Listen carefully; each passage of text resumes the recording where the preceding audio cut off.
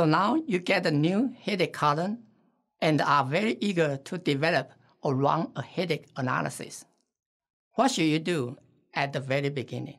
As we discussed previously, for HILIC-based LC separation, the initial condition is under highly organic mobile phase to generate a water-rich layer on the surface of the polar stationary phase.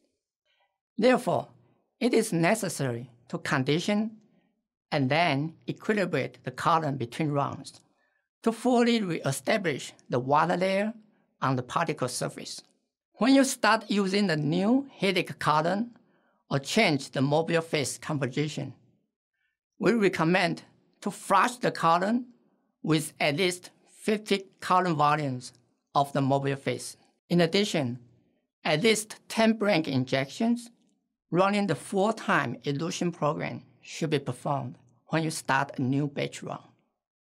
As for the equilibration time between injections, this could be very analyte dependent. So make sure to observe the retention time reproducibility to determine the time needed for re-equilibration.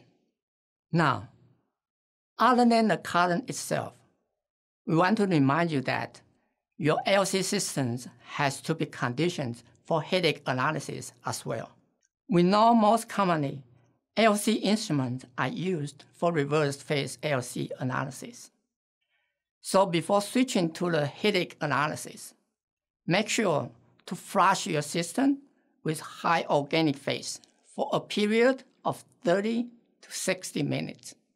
Now that you have conditioned your column and your system for HILIC analysis, you are ready to go.